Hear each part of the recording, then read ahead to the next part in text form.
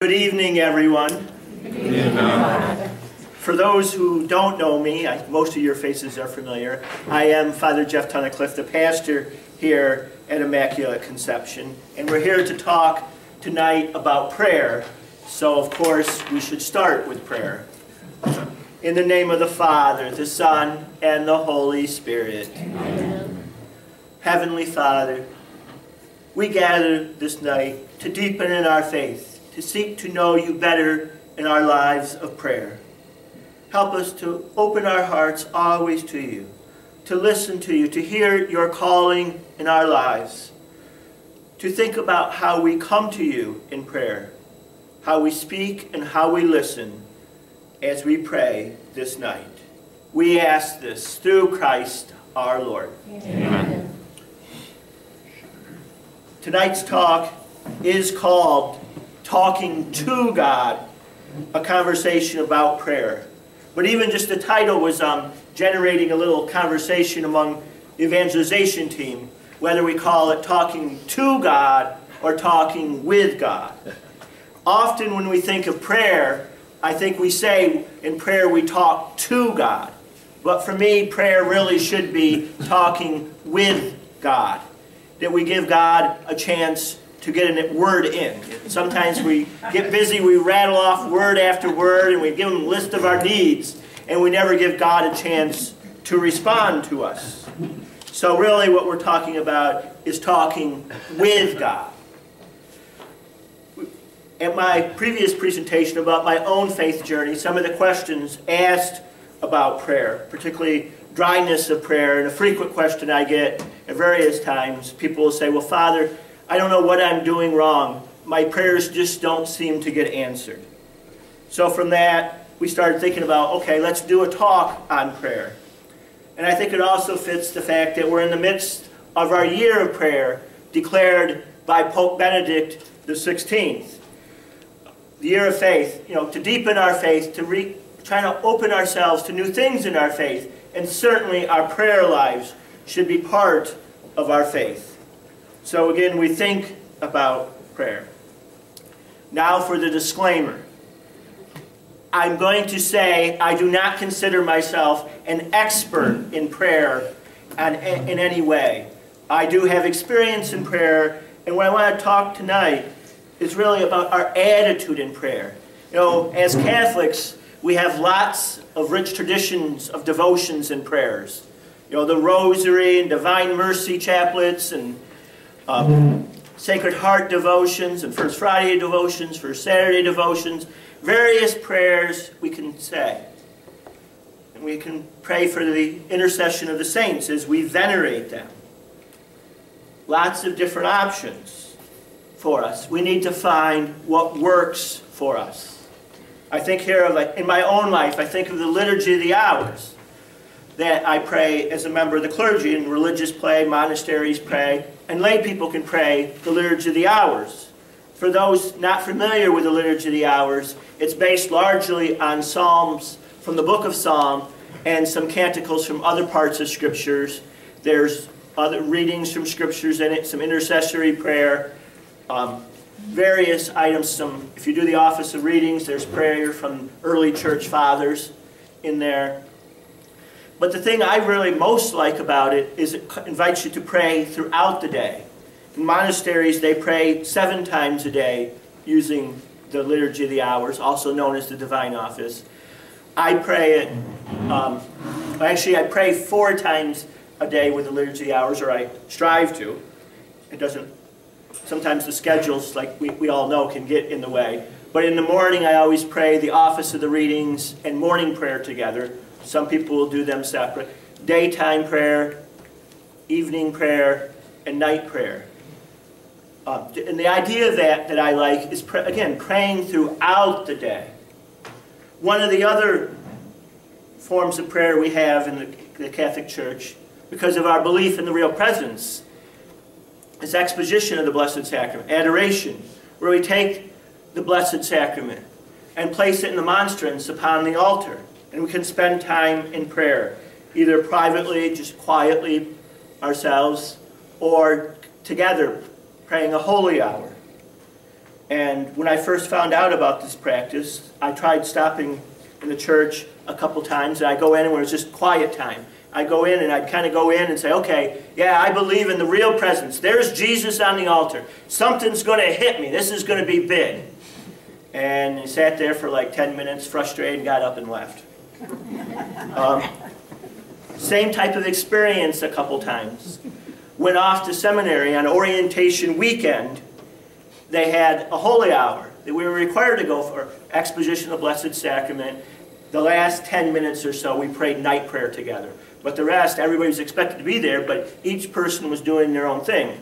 And just so you know, when you do this, you could people. Some people bring a Bible and read from the Bible. You bring a spiritual book. Some people pray the Rosary. You don't. You're not just necessarily sitting there in silence doing nothing. Some people do that. Well, but I was there for this hour, and um, I was fit to be tied. I kept thinking, "Oh, come on, something's got to happen here. Something's got to happen." Nothing happened. So after that time, I said to God, I says, that's it. There's an, there's an optional holy hour every week in seminary with exposition. I said, I'm going to go one more time. I don't expect anything to happen, and when nothing happens, that's it. No more. No judgment on exposition, adoration. Just said, it just doesn't work for me. I went. I did take a Bible with me, if I remember right, and was reading some from it, and prayed and listened. And it ended up being the best prayer experience I had in several months at that time. I think the difference was I went in expecting nothing to happen and just saying, whatever happened, happens. Um, and God used that. Where before I kept going in expecting something happen, not necessarily something particular, but when we have expectations and they're not met, we say, well, we say nothing happened. But sometimes a lot can happen if we just open ourselves. And that's where I think really prayer, we got to think about our attitude in prayer. What is it that we come thinking prayer is going to do for us? You know, is again listing all our needs, praying for all the people we know who need our prayers. That's all good.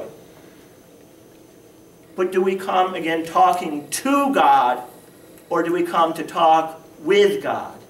And for me, that prayer, again, is very much about a conversation with God. And when I say a conversation, it isn't that I think I hear voices when I pray. I haven't lost my mind. At times, I think God does speak to me in prayer. Unfortunately, he seems to do it in my voice, so I can't tell my thoughts from what he's trying to tell me. Um, I wish he would use a different voice so that I, this is God. Listen to this one. This idea is good. But that's part of the struggles in prayer. And we do face struggles in prayer. Sometimes the questions about prayer say, Father, I don't even know where to begin.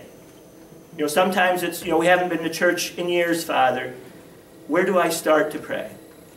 Sometimes there's people who go to church every Sunday but don't pray much else during the week, partially because you don't know where, again, where do I begin? Often in prayers, we can be, I don't think my prayers get answered. What good does it do if my prayers aren't answered? And the Catholic Catechism of the Catholic Church speaks here of failure in prayer. But not that we're actually failing in prayer, but that we feel like, we, okay, my prayers just aren't doing any good. I'm a failure in prayer. But sometimes, again, you know, we have to think about what we're praying for. And when I mention the catechism, I do want to mention, explain the catechism a little bit for you in case you're not familiar with it. This is the catechism of the Catholic Church, officially the official catechism of the entire Catholic Church. The, if you have see one with a green cover, it came out in 1997 as the second edition. Um, it first came out um, 20 years ago. The first edition was a tan edition basically everything in the tan edition, if you happen to have one of them, it is correct. They just added some information in this one um, and tweaked a few things. Um, so if you have one of those old ones and you look up the, the paragraph numbers, they may not match exactly, but the information is the same information.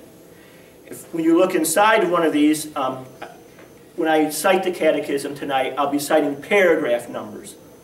Generally, like when we cite books, we're doing it by page number here. But if you look at a catechism, there's, it's all broken into paragraphs, and each one has its own number. So if you look at the reference sheet making available for you tonight there for the catechism reference, it's that paragraph number that it's citing. This can be a wonderful resource. Um, it's not necessarily a book to sit down and read. You can, but it can be um, somewhat can be difficult reading to understand a place to start. Um, knowing that, um, and actually when the Catholic Church came out with this as a whole, the Vatican um, encouraged individual bishops' conferences to come up with a catechism for each country, for each conference.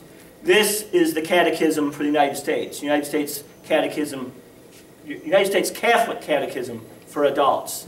This came out around 2006. It follows this. The order is exactly the same as this. This cites this. And paragraph numbers, it quotes it. Everything is in agreement with it. This is written more like a book. It's written in chapters so you can sit down and read it. So if you're looking for a place to start, this can be a great, pla better place to start. If you're looking for lots of information, very concise, this can be. Um, and there's an excellent index in this too, so when you want to find information. So I just want you to be mindful of that resource. And they're actually, if you're into the e-readers today, like the Kindle and the Nook, you can get these on them. And if you're nifty enough to have a smartphone, you can get these on your smartphones too. And I actually have a Bible on my smartphone too. So I have the Bible with me everywhere I go and the catechism wherever I go. So just to be mindful of that in our references tonight. Sometimes, going back to our topic of prayer, we think of prayer, you know, and we're thinking like, we're not getting anywhere in our prayers. And here the Catechism speaks in 2573. Makes reference to Jacob's wrestling with a man that we read about in Genesis and talks about wrestling with God. And sometimes our prayer can seem to be that. We're really wrestling in our prayers. And sometimes it's to even figure out what we should be asking, what we should be doing in our prayer. Sometimes I think that wrestling can be figuring out what we're asking for versus what God's will is. And sometimes in that we think we should win. But we should remember God is the one who is all knowing. It's best if God wins the arguments we have with Him. We can also speak about our struggles in prayer as dryness in prayer. You know, Father, I come to Mass, I, I'm there every Sunday, but I don't always feel like any, anything's really happening. I'm too distracted, or I just, nothing seems to hit me.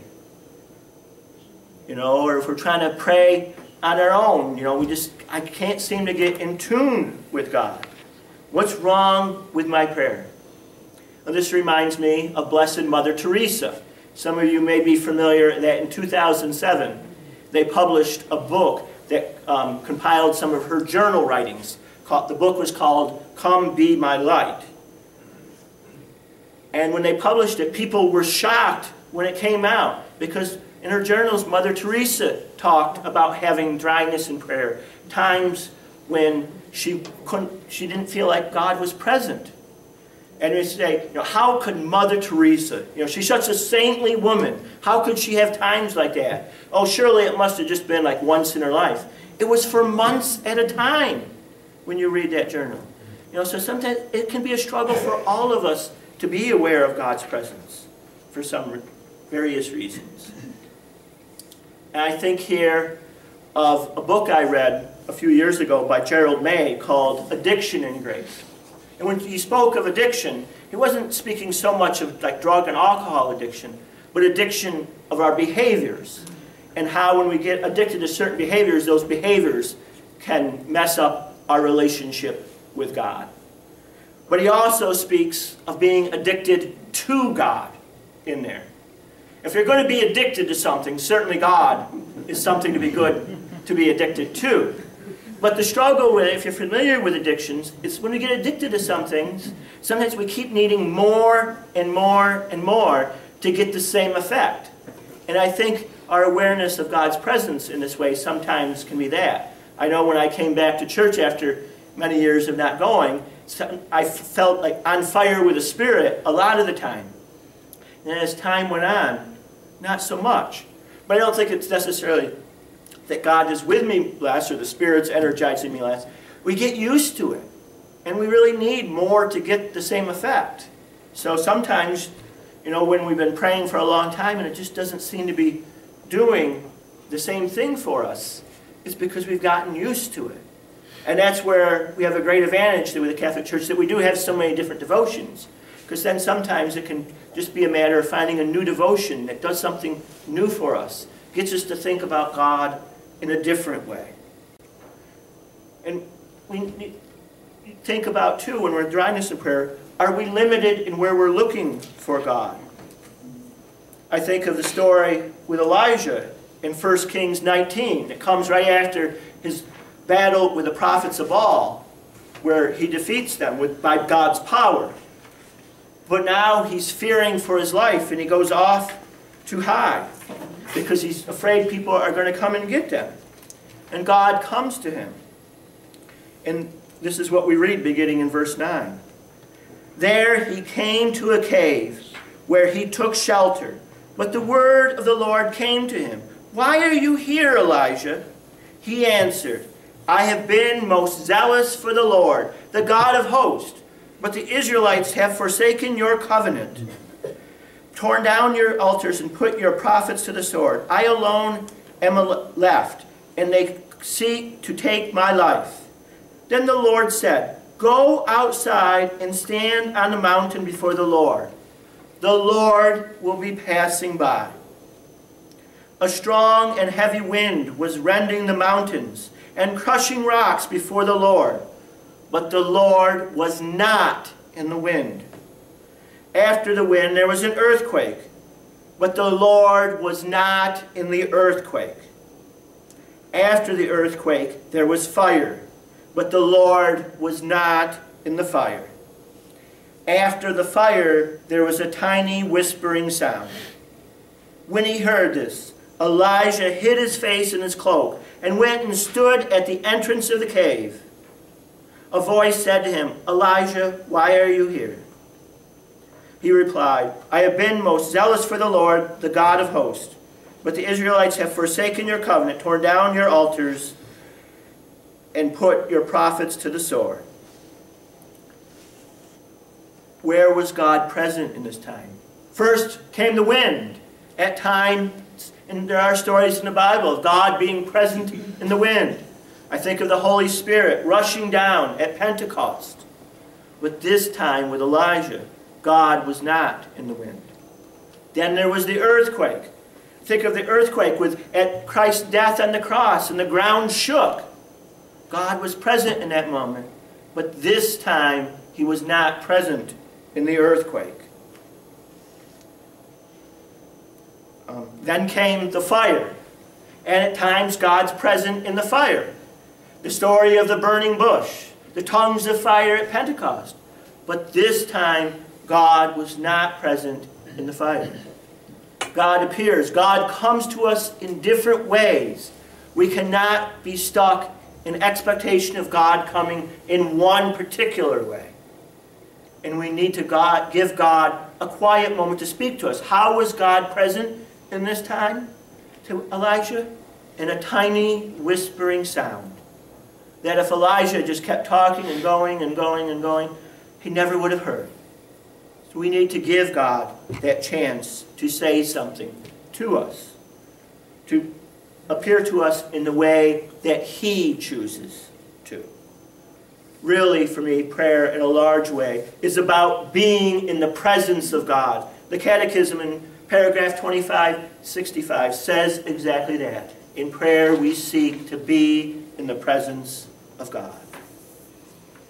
So, how do we come to prayer in our own lives? Where do we pray can be the first question we ask. These are logistical things. Where do we pray? And I spoke of before, of praying with exposition of the Blessed Sacrament. You know, to pray right in church before the Blessed Sacrament can be a wonderful thing. But God is present everywhere, so we can pray anywhere. But I believe we really do, at times, need to have special places to pray. pray. We need to be open to God, praying, praying to God's presence anywhere, but to have a special place for it, a place dedicated for it. I think of a conversation I had a few years ago with a woman who at that time um, had three teenagers living at home there with her husband and not a particularly big house. And she had one corner in one room where she would go to pray. And when she was praying in that corner, everybody else knew they better not bother mom. So sometimes, you know, when we live in a house of various people, that's what we need to do, is have a set place that the people know not to bother us when we're praying in that spot, unless, of course, the house is on fire. but to be find that spot. And even I live alone. And I have one room in my house where I don't have a TV. I don't do any work in that room. Pretty much all I do in that room is pray. And that's deliberate. Because when I try and pray in the room where the TV is, I turn the TV on. It's a little hard to pray sometimes when the TV is on. Talk about distractions. But to have that special place where we go to pray, and I'm not, you know, I'm not looking at the TV, I'm not looking at work I got to do, and I'm not looking at the mess someplace to clean up or something. Just thinking about the prayer at that time. We can think about time of prayer, especially going back to that question, where do I begin, Father? I haven't prayed in a long time. And some people want to say, oh, I'll go right for the hour of prayer. Oh yeah, we have exposition of the Blessed Sacrament on Friday. And by the way, we this week we really do have exposition of the Blessed Sacrament on Friday morning. Um, I'm going to go and spend an hour there. I'm going to give that hour to the Lord. Sometimes that works. Sometimes, though, we need to set realistic goals. Start, say, with 10 minutes a day and build up with the time. What time a day? Well, if you're starting with just once a day, 10 minutes a day, whatever works, works best for you, that you can commit yourself to. But then expand. Don't just stay with 10 minutes a day forever. You might go to 20 minutes, or you might stick with 10 minutes, but do it twice a day. But to build that attitude of praying always. In 1 Thessalonians 5, Paul says to pray without ceasing. Pray without ceasing does not mean we pray 24 hours a day, you know, rosary after rosary, or go from the rosary to Divine Mercy Chaplet to this to that. No, pray without ceasing, again, is a question of our attitude in prayer. That we're thinking about God throughout the day. Thinking about God when we're making decisions. You know, when we make a significant decision in our life, do we even give God a chance to chime in His opinion? So to be thinking about God throughout the day. But then the counter to that I hear, I hear some people who especially work in church say, well, in that sense, my work is my prayer. Well, especially if you work in church work or charitable work, hopefully your work can be part of your prayer. But I don't think it can be the whole thing. And here the Catechism of the Catholic Church, I quote from paragraph 2697. But we cannot pray at all times if we do not pray at specific times, consciously, willingly. We need to have an attitude of prayer at all times, to think about listening to God. What does God want us to do in this moment? But if we're going to do that, we got to take time to pray at specific moments, to cut out the hustle and bustle of life. You know, and that sometimes that's where we say, with the hustle and bustle, Father, I don't have time to pray. Well, one, that's why I say start with 10 minutes. If you can't even do 10, start with 5. But make it a priority. If it's important to you, you're going to find the time. What can you let go of a little bit? The other thing we have to think about in prayer goes back to what I was saying before. Father, when I pray, I'm distracted by things. I have, you know, I'm at Mass, but I keep thinking about this, that, and the other thing. Or I try and pray at home, and same thing. I pray this, that, and the other thing. And we spend a lot of time in prayer fighting all those thoughts, thinking we got to defeat all those thoughts. We got to answer all those thoughts. You know, and it's just thought after thought. I know. Sometimes the most peaceful moments I can have in a day is when I only have one thought in my head at the moment. Because we just get thoughts going in our head. And the phone's ringing with this, and while you're on, talking on the phone, um, you're sitting at the computer at the desk, or at least this is what happens to me, and the email's chiming at the same time, and you're trying to look at all that. And all those distractions are a challenge. Sometimes we put more effort into fighting them off, thinking, well, if I just defeat this thought, or if I just deal with it, it's not a problem. But sometimes, as hard as it seems to be, what we need to do is just let go of the thought. We don't have to thought answer every thought that comes in our head. It's not just in prayer. Anything we do, do we ever answer all the thoughts that come into our heads? Prayer is no different. We don't need to think about all those things. The Catechism, again, also speaks of distractions when it says to hunt down our distractions in prayer are to fall into their trap. Think of it this way. You've decided you're going to start praying when you get home from work every day for 10 minutes. You sit down for that 10 minutes, you start to sit down, and you think, oh, what am I going to make for dinner? I better get that figured out. Oh, what's thawed out? Oh, I think there's some chicken that's thawed out. Well, do I have the potatoes or the rice with the chicken? Oh, I don't have any instant potatoes. I don't have time to bake, boil the potatoes, so I guess I'll make go, go with the rice. Um, and then, oh, a vegetable. What can we have for a vegetable? Oh. oh, okay. We'll have the green beans. Okay, we're having the chicken, the rice, and the green beans. That's all set. Now, what? how much time do I have left for prayer? I don't have any time left for prayer. Not that we don't have to think about what we're going to make for dinner. But stick to the prayer. That decision about dinner can wait. It will take care of itself. If the kid's screaming at you that they want their dinner, tell them to go cook it themselves. you can tell them father said that. so, you know, we fight all those distractions in prayer. Again, we don't have to deal with all of them. I don't know about you, throughout the day I have lots of thoughts that I never get to think about. They're, they come, if they're important, they come back going back to our prayers not being answered. You know, Father, I pray and I just don't seem to get my prayers answered. Well, let's look at Luke chapter 11 about this. I, And I tell you, ask and you will receive. Seek and you will find. Knock and the door will be open to you. For everyone who asks receives, and the one who seeks finds, and to the one who knocks, the door will be opened. And if you're one of those people that feels like you ask and you don't get what you want, you're probably thinking right now, Father, this passage doesn't help. It's exactly how I feel. And he says, Jesus says, ask and you shall receive. I ask and I don't receive. I seek God and I can't find him. You know, and there's stereotypical answers we have for this, but they are real answers. You know, why aren't my prayers being answered?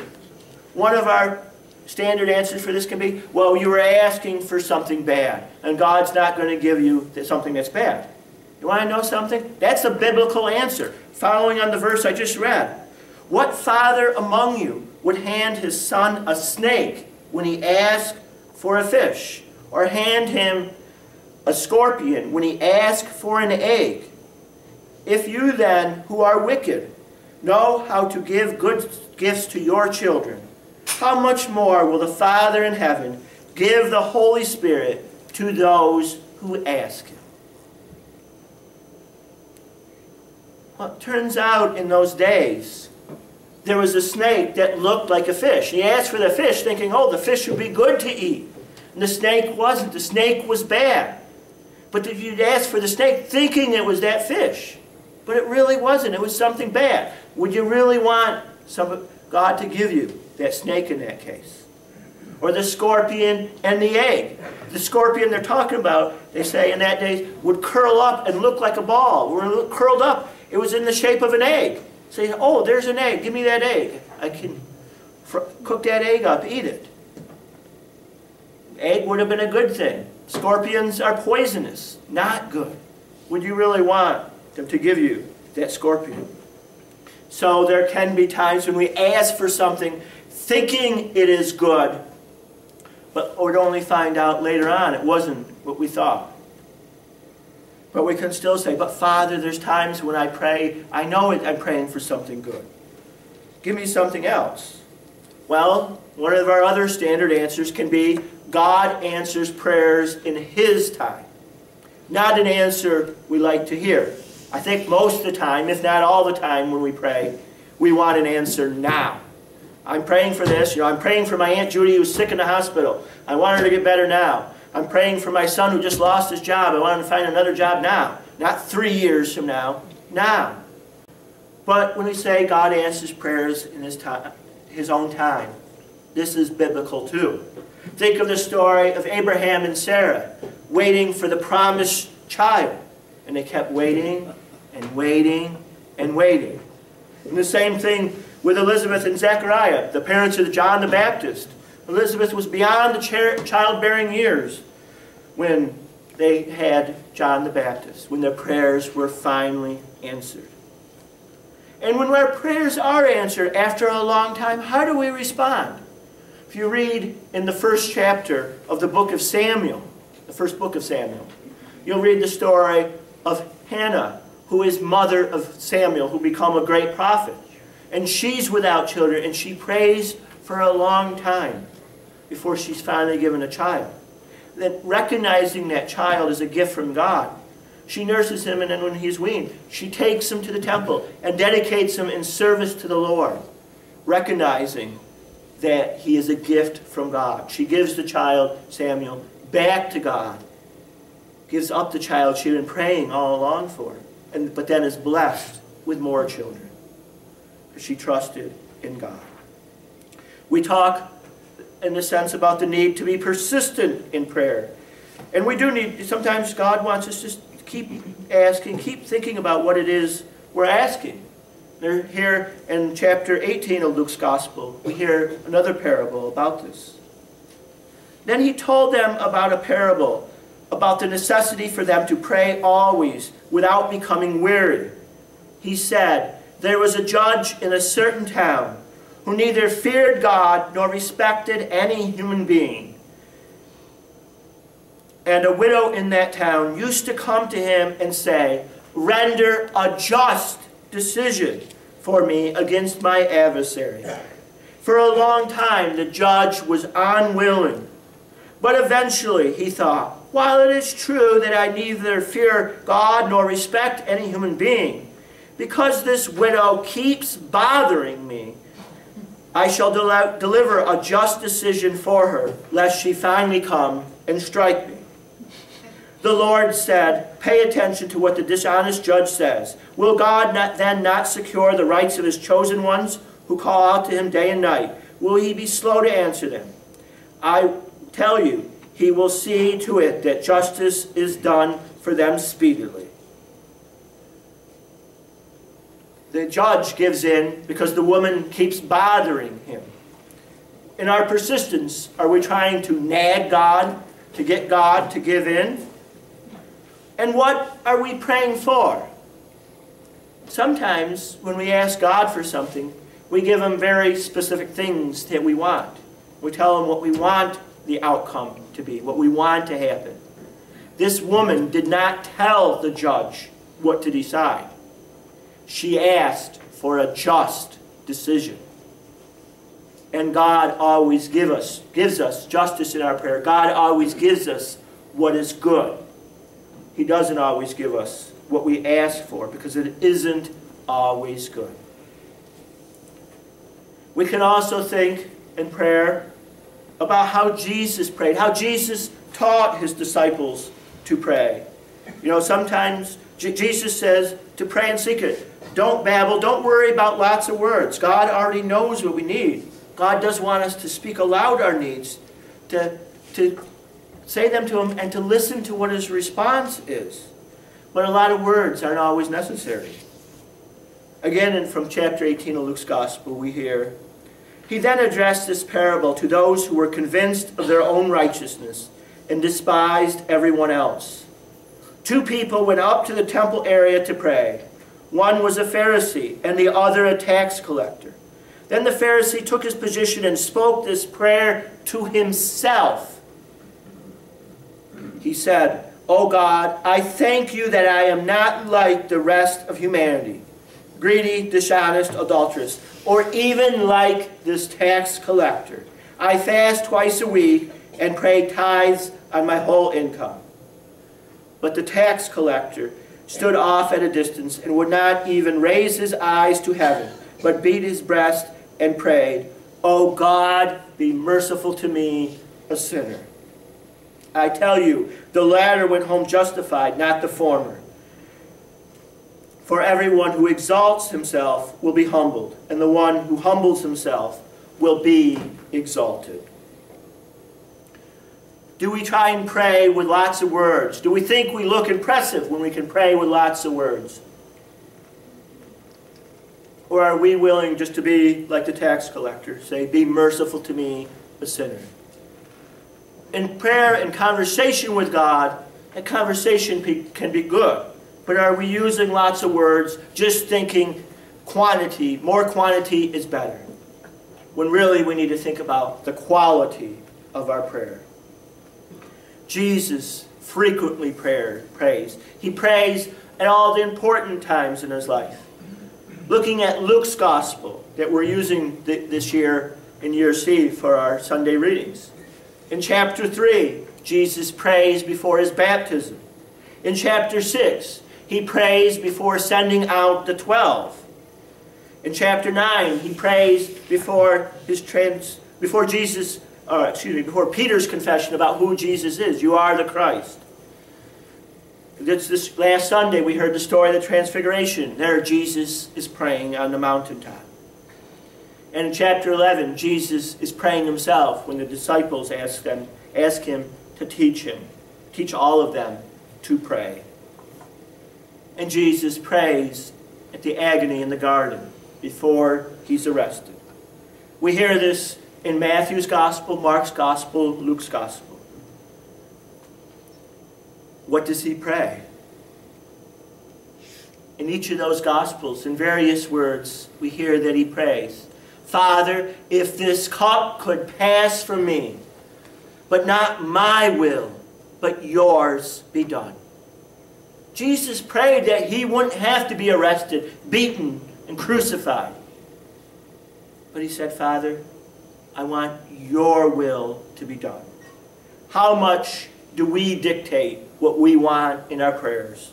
You know, we can recite our standard prayers and we, you know, say, I pray for these intentions. And, but we ask ourselves, are we telling God what to do or are we listening to God? Are we handing it over to God?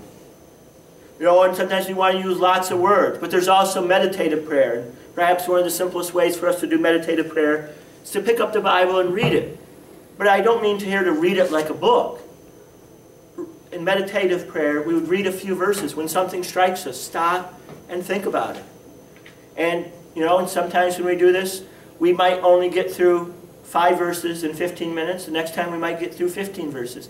It doesn't matter. It's not about reading a chapter at a time.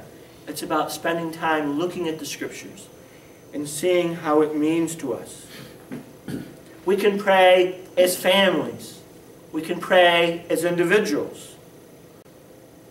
And but when we pray, again, what's our attitude? Are we trying to tell God what to do, or are we surrendering to God's will? I think back to almost four years ago now, when my mother was in her final days before she died in a hospital. She had emphysema for 10 years and in the final weeks had lung cancer, found too late to do anything about it because of the emphysema after smoking for 30 years. She was on a ventilator. I was already a priest at this point, and you might think I'd have some grandiose prayer to say. I did anoint her, of course, But beyond that, my prayers really that week were, God, just take care of her. I don't even have more words to say. And within a few days, she passed. And some would say, well, you prayed for God to take care of her. He didn't take care of her. Yes, he did. She was suffering. She'd been sick for 10 years and getting worse and worse with the emphysema and other health problems, the cancer at the end. And um, actually, when they found the cancer, it wasn't just in the lungs. Um, she also had it in the back, it turned out. So she was in a lot of pain. God took all that pain away. God did answer my prayers. Not necessarily in the way I would have preferred, but He did take care of her. And that's what we need to think about to pray. And that's where we turn to the best prayer we have. The best prayer, in part, because it comes from Jesus. When Jesus' disciples asked him, Teach us how to pray, what does he teach them? The Lord's Prayer. We find it in Luke's Gospel in chapter 11, in Matthew's Gospel in chapter 6, and the, our Father, as we're used to it, the Lord's Prayer is the exact words we can read in chapter 6 of Matthew's Gospel. We pray it often. Every time we're at Mass, we pray the Lord's Prayer. You pray the Rosary, you pray it several times. Liturgy hours, morning and evening prayer, including Our Father. Lots of other prayers, pray in Our Father. And sometimes we don't even know what else to pray for, what else we should say in prayer. We can just say in Our Father. But do we really just say it, or do we pray it, thinking about the words? Think of it this way. How, as the priest, how do I introduce the Lord's Prayer at Mass? It's with the same words now, with the new translations. At the Savior's command, the Savior's command, Jesus taught us to pray. At the Savior's command and formed by divine teaching, we dare to say. We dare to say. Well, if we really think about what the Our Father says, what we're praying in it, then it takes courage to pray it. The Catechism of the Catholic Church outlines a lot of these thoughts about the Our Father um, in the paragraphs following 2800. It's on your reference sheet. It, um, but we think, let's think about those words. It begins, first off, Our Father, who art in heaven. Our Father. Not some distant God, far away, not interested in what's going on. Our Father, who invites us to be in relationship with Him. Our Father, who watches over us and cares for us. And then there's seven petitions that follow. Hallowed be thy name. Hallowed be thy name. Let people see your glory, Lord. Let people know how great they are so they know how great you are. And we can have a part in this by telling God, telling, excuse me, telling other people about what God does for us, saying, look what God has done for us. Hallowed be thy name. Thy kingdom come. God, we know we'll know the fullness of your kingdom in heaven one day. But help us to know it now. Now it starts getting tougher. Thy will be done on earth as it is in heaven. Thy will be done. Not my will, but God's will.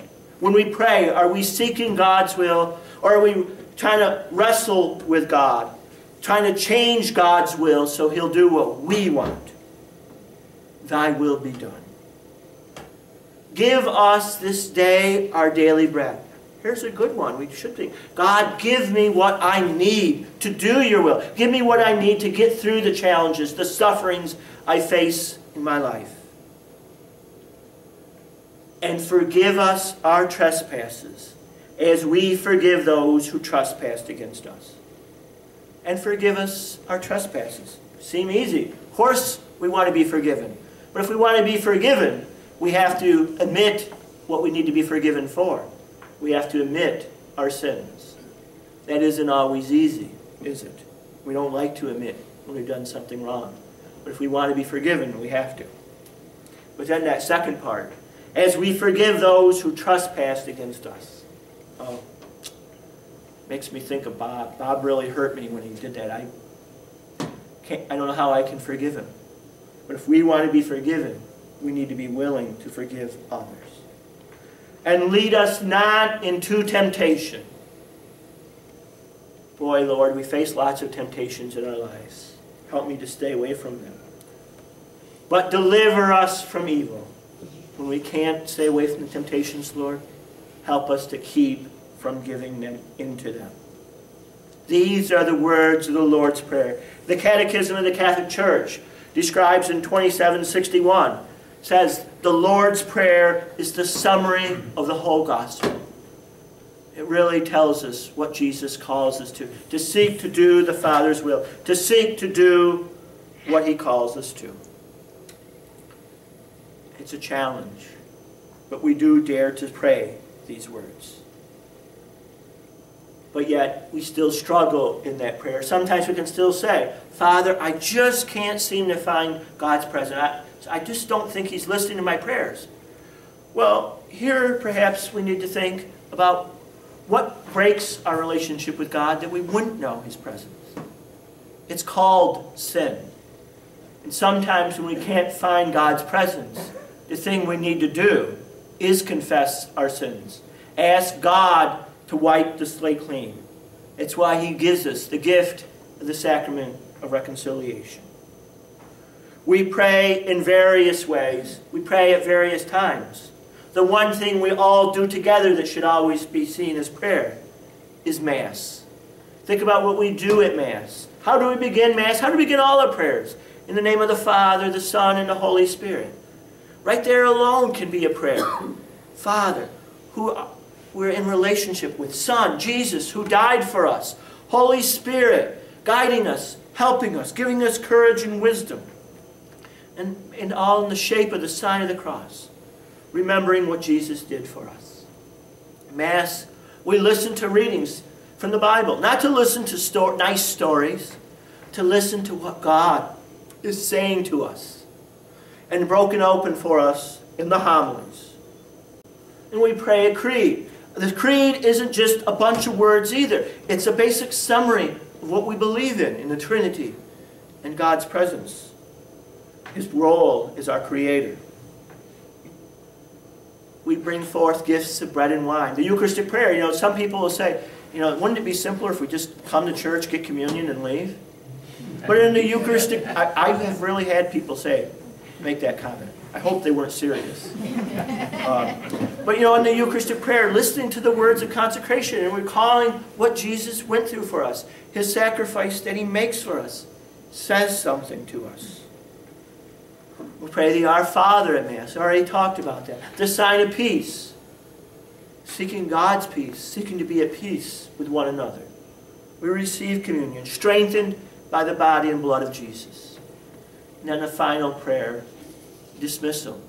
And not just to go home and forget about church. Dismissal. Go in peace, glorifying the Lord by your lives. Take what we've learned, go out and live it. These are the ways we pray. The Catechism of the Catholic Church describes prayer as the action of God and man. Sometimes we think it's something we do all about we, something prayer is something we do. But the Catechism also says in 2567, prayer starts with God. We pray because God calls us to know Him in prayer. And prayer continues with our response. Prayer isn't all about what we say. We pray often. You know, we can pray when we need something, when we know we need God's help, we pray asking Him for, him, for it. How often do we remember in our prayers to thank God? It's very easy to remember to ask Him for something. How often do we thank God? And sometimes, how much do we pray just praising God? Saying, God, you're wonderful. You're creator. Everything you create is good. Prayer is not easy. Prayer has no simple answers. But it's, to me, the thing we can work on is our attitude, our openness, coming to pray, to say to God, these are the things I think I need. But God, tell me what it is that I really am to do. Think of the prayer, the, the Our Father. Think of Jesus' prayer at the agony in the garden. Father, if this cup could pass from me, but not my will, but yours be done. These are the prayers that God calls us to. The, to know Him. God wants to help us in our prayers. God wants to be with us, for us to know His presence. And we give thanks for all He does for us and seek Him in all things. In a moment, I'll open it up to questions, but a couple notes before we do. We do have the handout over here, if you didn't get one already, with the scriptural references on it and the catechism references. Over on the table to this side, um, there are a few different items. If you're standing looking at the table, um, on the left there are there's a CD on prayer you're welcome to take. Um, in the middle, if you were at Mass this weekend, you heard me announce that we've recorded a video on the Sacrament of Reconciliation. That video is available on our parish website and on my, my own website, renewaloffaith.org, under the Sacrament section. There in the middle of the table are the booklets that um, this weekend were in the outside the confessional. If you didn't already pick them up, there's three different ones. One on why I see the sacrament as a gift, one um, on examination of conscience and one on how to go to confession. So if you feel you need to wipe the slate clean, um, those are there to help you with that. Lastly, during the Our Father, I mentioned with the hallowed be thy name, that we need to tell other people about the good things God does for us. Well, the response people say sometimes is, I don't know how to tell people. I don't know what words to use. I don't know how I'm to share my faith. Um, glad you asked the question. On March 18th, um, uh, which is another Monday night, I will be doing a presentation entitled Talking About God, How We Share Our Faith. Um, I'm sure it will be a wonderful talk. I'll know more after I write the talk. but again, in a moment, I'll open it for questions. But how about, in our Savior's command, informed by divine teaching, we dare to say, Our Father, who art in heaven, hallowed be thy name. Thy kingdom come, thy will be done, on earth as it is in heaven. Give us this day our daily bread, and forgive us our trespasses, as we forgive those who trespass against us. And lead us not into temptation but deliver us from evil.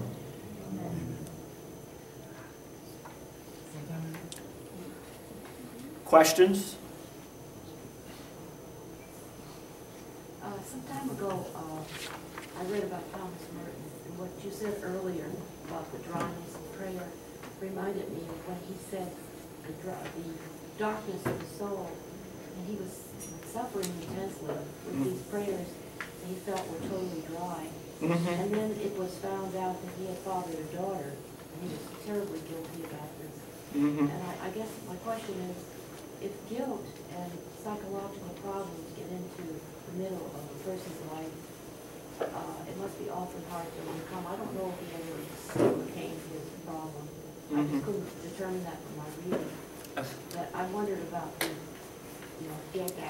guilt and prayer. For those who didn't hear the question, she spoke of Thomas Merton, who um, is, who's known as a great speaker of faith and wrote lots of things, gave lots of talks, but who had issues of guilt. He found out he had fathered a child and had guilt issues about that and things. And how does the role guilt plays in trying to, to know God and how do we let go of that? Um, the answer, of course, in terms of the sacrament is going to confession. But I know sometimes when we go to confession, I think there's times in our lives when it's easier for God to forgive our sins than it easy is for us to forgive ourselves. We go to confession, we get God's forgiveness, and we still keep thinking about it. You know, it's hard to let go of those things. We know they are part of who we are. Even when God has forgiven them, even when every person involved has forgiven us they are still part of who we are. And sometimes we think about how we can change things, you know, how we'd like to change this or that. And in prayer, I think, you know, sometimes that, that, that's where we need to turn to prayer and saying, just say to God, God, I keep thinking about this. I wish I could change this, but I can't change the past. But what can I do to make the best of the future? But guilt, again, is a powerful thing. But, you know, just like let, letting go of all the distractions in prayer sometimes seems so difficult. You know, there can be that one thing, you know, in the past, or maybe a couple things or something we know we did, and we wish we hadn't done it. Um, without breaking the seal of confession. I'll say sometimes when people um, come to confession, they say they haven't been in 20 years. The thing that's more on their mind is something from 15 years ago than last week. Because last week they said, oh, I did fairly well, but I know what I did 20, 15, 20 years ago, and I'm having a harder time with that. Um, and if you, if you got something you haven't confessed, confess it. Beyond that, it, I think it's asking God in our prayers to see, you know, part of it can be, I can't change the past, God, but is there something I can do to make things as best as they can be today? And if not, then how do I let go? How do I go forward? Because God's let go of that past. God's already done his part. You know, how do we move forward? How do we find that openness to God? Because we have little to gain by holding on to the past. Again, do what we can, confess it. If there's something we can do to rectify something, do it. But then to move forward, just, we'll, never we'll never find our way home, so to speak, if we keep thinking about the past and things that we can't do something about. Turn it over to God. As hard as that is, like I could say, it's easier for God to forgive us sometimes than it is for us to forgive ourselves. Other questions? Uh, do you have some advice to achieving clarity and discernment? Clarity and discern, uh, advice for clarity and discernment. Um, well, clar clarity and thought, again, you have all those distraction issues, you know, and discernment, you know, sometimes it is to, you know, it starts with even asking um, the question, what are we trying to find? You know, what, if we're talking about discernment, there's some decision we face. Um, you know, and it can be, first off, asking God, do we even have all the options on the table? And I, you know, and with when I think about putting options on the table, evaluating decisions, part of the prayer of discernment is the human things we might do to weigh the pros and the cons, to see everything that's before us. A prayer of discernment is not to say to God, you know, say you're facing a job choice and you're so fortunate um, to, as to have a couple choices of what God job to take. It isn't just to say to God, okay, I'm going to sit here and pray, and you tell me what job I'm supposed to take. Come on, God, I'm waiting for the answer. You know, we should take it to prayer, but to weigh, what do I like about this job? What don't I like? Where am I using the gifts that God gives me in this job? Where would be the struggles? Just, but that, that clarity comes in part from working through those questions that are human questions. But then to say, what is God's will in all of that? I go back to the example um, I've used in other settings of my decision to come here, whether or not I was going to apply to become pastor here. When I first started, have, when it became open, when I knew Father Leo was going to be leaving and this would be open, I started thinking about all the human questions I could ask. And some of those questions are real and maybe needed to be asked. Um, but then I thought about, well, wait a minute. The real question to ask is where does God want me to be? Because if it's where God wants me to be, He'll make the human things work out. Um, now, when you're praying about being a pastor of a church, it might be a little bit different decision than jobs, you know, a, a secular job. But God can still be part of that. You know, I don't care if the job is sweeping streets or being a doctor. God can direct us where we can use our gifts, where we can make a difference in the world. So to go through the, the human things, uh, the questions that need to be asked about, you know, like in a job selection. But then to say to God, okay, I've weighed all this out. Where do I go from here? Other questions? Wow, just two questions. I guess I did a really good job. Answered all, everything, right? So, Does que- uh, does prayer always have to be a formal prayer?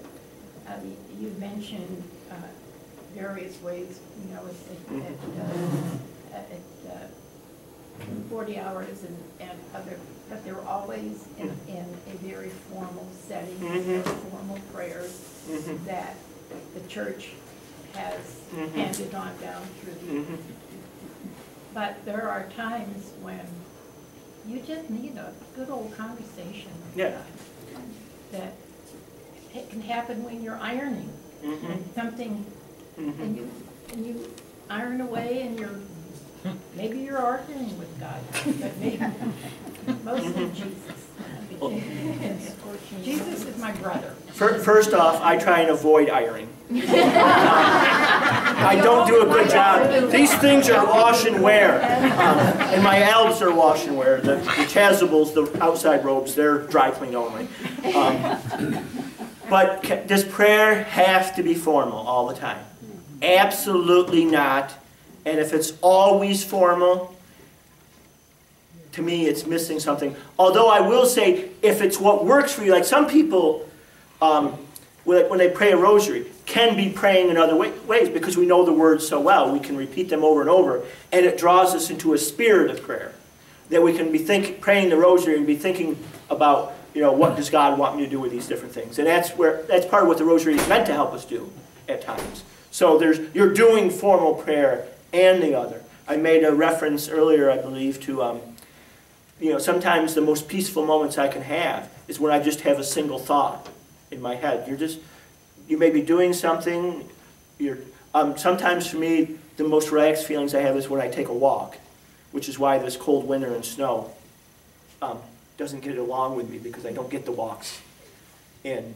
And uh, um, just walking and not trying to think about anything, not thinking about prayer, not thinking about all the things sitting on my desk, just letting the thoughts go. But then in the midst of that, even though I'm not deliberately praying, that the clarity comes to find the presence of God.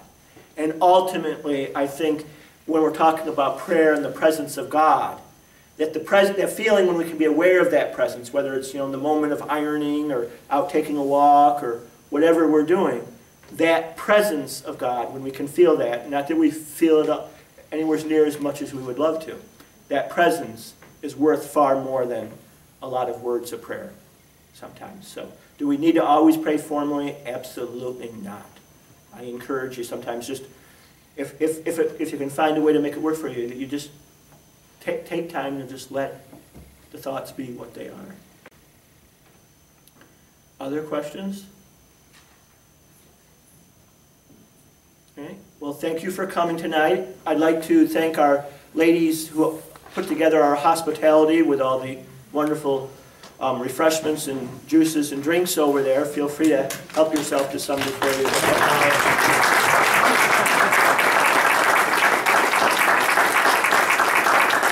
I'd also like to acknowledge our evangelization team, um, which some are here today. Chris Elise, Justin Greenley. Justin's wife Emily is also part of it. Um, Maureen Sealy, I see is back there. Mary Etzel Galway. Um, Roy Erb is here. Um, Frank Smith is also part of it, but he couldn't be here tonight because of another, of a conflict for him. Is that everybody on the team? Um, if I'm forgetting anybody, I'm sorry, but they, they help coordinate the things for this, help coming up with the flyers and things, and um, I probably was annoying them on email at times, bouncing off ideas of where we would go with these talks. So they were helpful in getting the ideas, some of the initial ideas together. So we thank them for their efforts, and thank you all for coming tonight. Thank you.